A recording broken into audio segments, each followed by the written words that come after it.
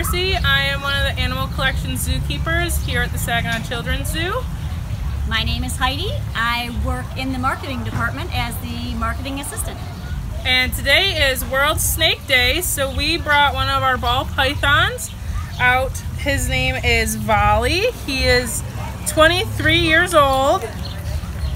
And ball pythons are also called royal pythons because in Africa, where they are from, Cleopatra would wear them as jewelry. So they are royal pythons or ball pythons because they also roll into a ball and they are a type of constrictor.